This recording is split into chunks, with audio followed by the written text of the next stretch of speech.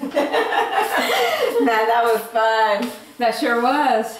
Oh my God, Isabel, look, we got roaches. We sure do, Diana. What do we do? We should call the exterminator. That's right. What's that jingle? Like a good neighbor, Andrews is there. Hey! Hello, ladies. What seems to be the problem? We got, got roaches. roaches. Never fear, Andrew's Pest Control is here, and your problem is no problem. Thanks.